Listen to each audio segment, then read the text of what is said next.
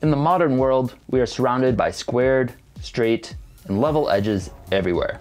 But in the natural world, such things are kind of rare to find. So that poses kind of a unique challenge. You might not think about day to day. If you don't have modern tools like a ruler, level, or a set square, how do you keep things from being completely lopsided?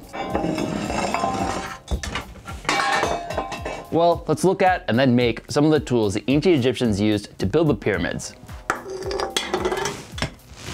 Everything we use comes from 8,000 generations of collective innovation and discovery. But could an average person figure it all out themselves and work their way from the Stone Age to today? That's the question we're exploring. Each week, I try to take that next step forward in human history. My name is Andy, and this is How to Make Everything. Be sure to subscribe and turn on notifications so you don't miss the next step in this journey. Thank you to SimpliSafe for sponsoring this video. With today's sponsor, SimpliSafe, you too can protect your worldly possessions from break-ins or grave robbers, just like the pharaohs did. SimpliSafe is a comprehensive security system taking the place of all of our various security cameras, door locks, and sensors, putting them all under one service that is monitored 24-7 by Simply Safe dispatch team. You can protect your space, and keep track of who comes and goes, remotely give access to guests and visitors. They have sensors that cover everything, forced entry, smoke and carbon dioxide warning, even water and freeze sensors. And if triggered, visual confirmation via security cams means SimpliSafe calls get three and a half times faster police response than other calls. It'll still work if you lose power, Wi-Fi, or if the system is attacked. For 50 cents per day, with no contract, SimpliSafe is an easy and cost-efficient way to protect your home or studio. We're excited to start using it in our studio to keep all the haters out. To learn more, visit simplisafe.com slash how to make everything. First up, let's take a closer look at what these tools can build.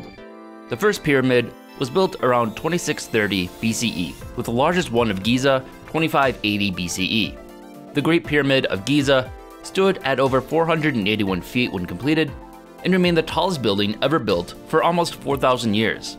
Aligned to true north within 1 degree of accuracy, they are amazingly precise in their measurements. The four sides are equal within inches, and the base of it is level within almost half an inch. Measuring precision like that requires an accurate way to make straight lines, parallel lines, squared edges, and measuring level. So those are the challenges I'll need to overcome. The tools I have available to me right now are the hammer I previously cast, the knife and the dagger, as well as the twine I've previously spun. To help us in fine woodworking, let's cast a few more varieties of wood chisels and a bronze saw.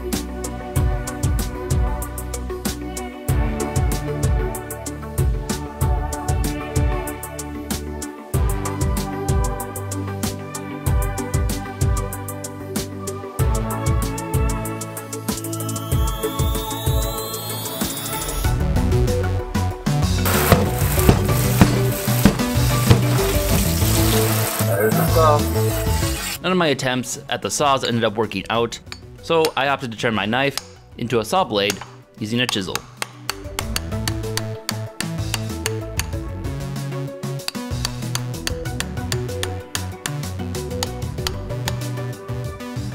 Stay sharp. So the first challenge I face is getting a straight line. In nature, things like to curve, so getting an actually straight line is a little bit of a challenge, and one solution the Egyptians used was to take a piece of string, hold it tight between two points, and that would be a perfectly straight line. And then to mark it, they would dip it in chalk, coat it in ash or colored dye, and then snap it. And it'll transfer that dye onto the surface, and you have a nice little guide. So I have a little bit of chalk from Dover I can try crushing up, but I'm thinking black might be a little bit more effective for what I'm working with. So I'm gonna try crushing up some wood ash to make a black pigment to apply to the twine so we can snap it and get some nice black lines. Let's give that a shot. Go play with the string. Crushing it, man.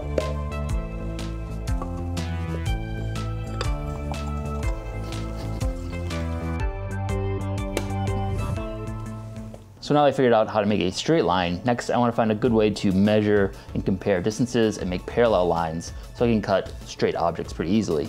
So the tool I'm gonna make is called a marking gauge. I haven't been able to find much information on its history, so I don't know for sure if the ancient Egyptians would have used this, but it's such a simple tool, it's hard to imagine they wouldn't have. Basically, it's just a stick that one end has a little marking spot, a part that slides back and forth and you can set to whatever distance you want. Most of them today use a screw to tighten it and lock it in place, but we haven't invented the screw yet, so we're gonna use a wedge to lock it in. So it's just gonna be three pieces, gonna be the rod, the gauge, and then a wedge. So first up, we need to make a straight line using our chalk line and use that as a guide for carving up some wood. Try and get some straight pieces the gauge can slide down.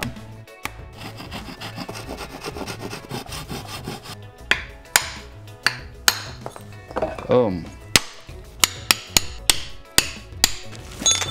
Oof.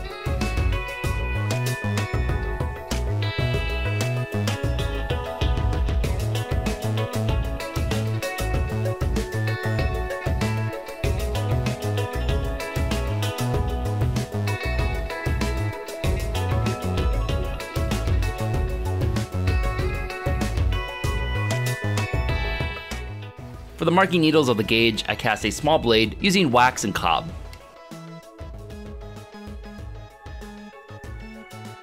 There's the blade there.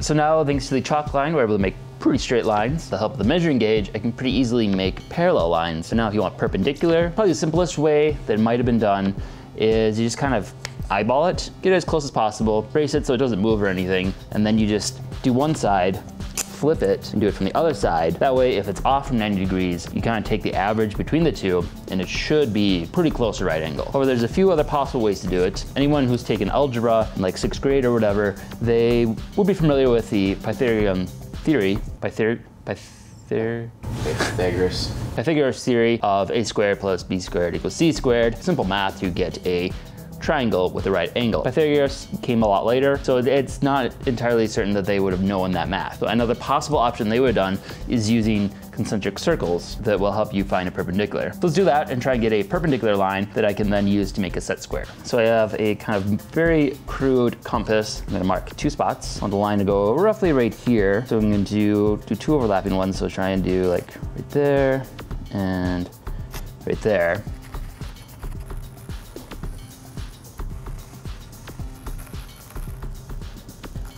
Just enough room. Now we have the two circles where they intersect at the top and bottom. Straight through them should in theory be perpendicular. So let's get the chalk line and draw that line in. There we go. I would say that's pretty spot on.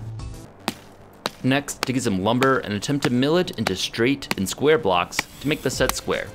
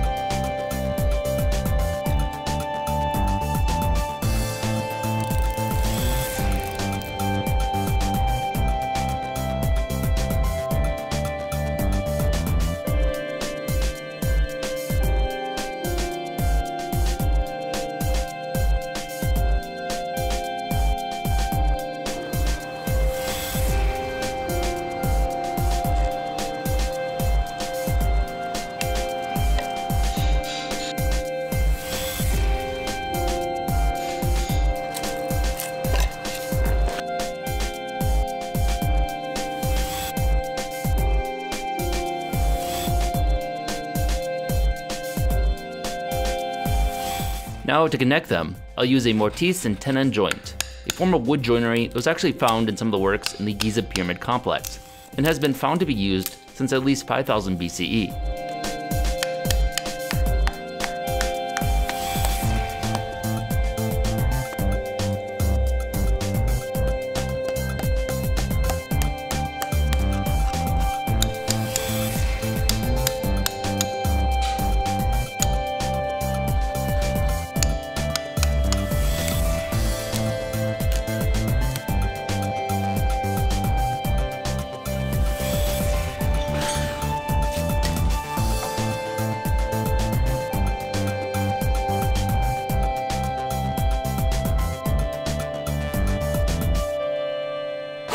Make a wood glue, I boiled some leftover deer hide from the book I made a few years ago.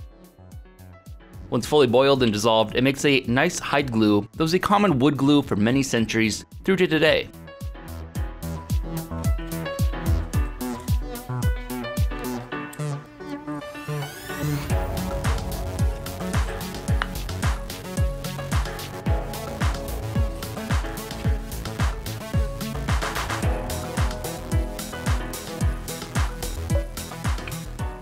Have the set squared all glued up and I can use markings I made before with my geometry to confirm that it should be square. Next up, we can turn this into a plumb bob that will measure levelness. The plumb bob gets its name from the Latin word for lead, plumbum, as that's the material they were first made of, but I'm gonna use bronze. The plumb bob is also where you get terms like plumb, meaning straight and vertically level.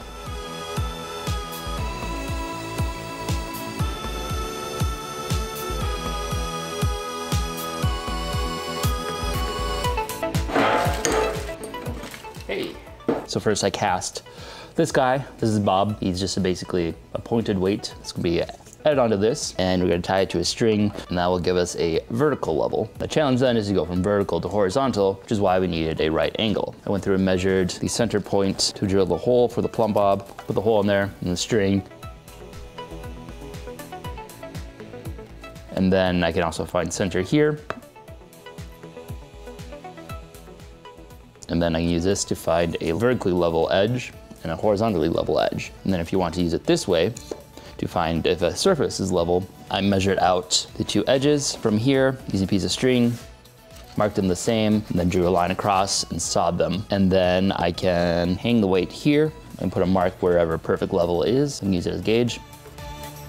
Spot on, that's level and also allows us to uh, do some math if we wanted to figure out different degrees. So if we are building, say, a pyramid and wanted to add a certain angle, you get that marked and then have a consistent gauge for every slope. All right, so I have my completed plumb bob here and it's all calibrated and should be able to show both vertical and horizontal level. Yeah, so this is kind of the standard tool up until at least 17th century, and even today it has some use for a variety of different things for surveying and such. Basically, the tool set the Egyptians would have had. So I'm gonna put these to the test and see if I can measure out accurately the dimensions of one average block for the pyramid. So I introduce a unit of measurement called the cubit, which was a standard measurement used for the Egyptians, the royal cubit, which was a specific length, middle finger to elbow. This is my own personal cubit. I'm gonna use it as a reference. An average block was, they tended to vary a lot, but I'm gonna do about two and a half by two and a half cubit and then one and a half tall. See how well it all stacks up and uh, double check it with some modern tools and see how close I can get it. See if I can finally experience true level.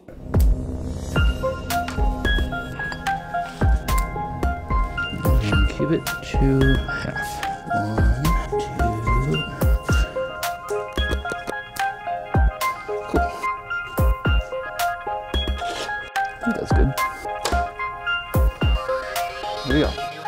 All right, so we have the kind of reference marks now if we were to carve a brick. We have a theoretically perfect square on the floor of two and a half by two and a half cubit. Then we have the one and a half cubit mark here that is theoretically level. So here's a projection with our fancy technology of what that block would look like. This would be uh, several tons of limestone. Let's just measure it up using some modern tools and see how close I got using these ancient tools. My suspicion is that these can be pretty accurate, but uh, I haven't been able to calibrate them perfectly. So I'll see how close I got it.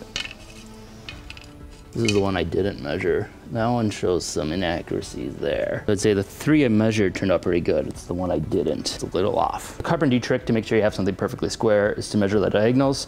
And if they're equal, then it should be a perfect square. So we're about 72 and a quarter, 73 inches. So we're a little askew. All right, we got the laser level to really put to the test.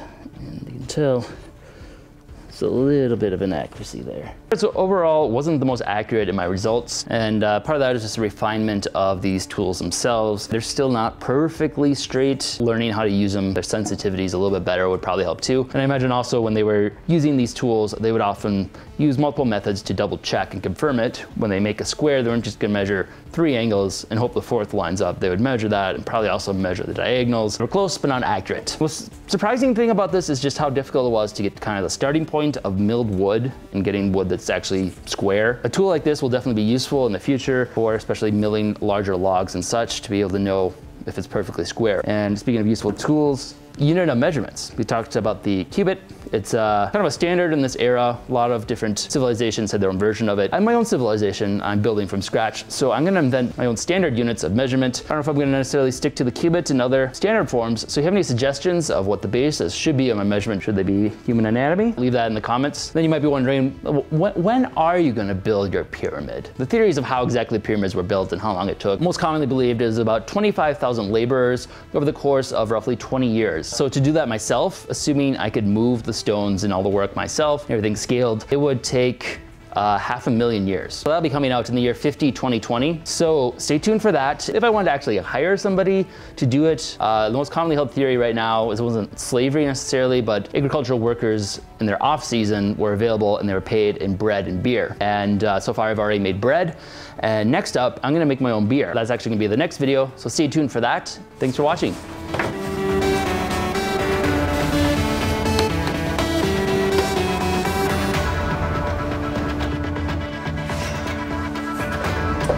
Thanks again to SimpliSafe for sponsoring us. Give it a try today at simplisafe.com forward slash how to make everything. If you enjoyed this video, be sure to subscribe and check out other content we have covering a wide variety of topics. Also, if you've enjoyed these series, consider supporting us on Patreon. We are largely a fan-funded channel and depend on the support of our viewers in order to keep our series going. Thanks for watching.